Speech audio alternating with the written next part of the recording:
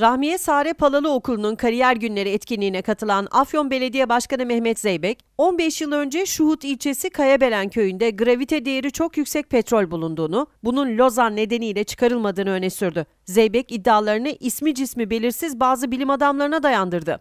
2023 Lozan Anlaşması'nın hükümlerinin son bulduğu dönem diyen Zeybek, dünyada ender bulunan toryum madenine sahibiz biz. Bilim adamı, bir şehri ısıtabilmek için milyarlarca ton kömüre ihtiyaç var ama toryum madeniyle bir el arabası kadar şeyle koskoca şehri ısıtabilirsiniz diyor.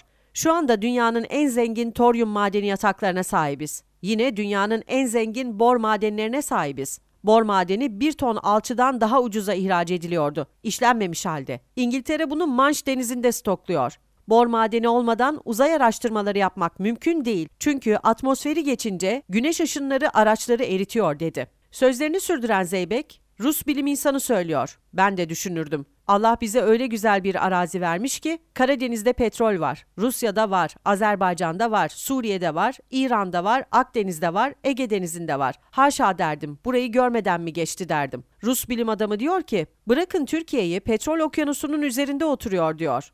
Ama maalesef bu anlaşmalarla elimiz ayağımız bağlanmış. Yeraltı zenginliklerimizi çıkaramaz hale gelmişiz ifadelerini kullandı.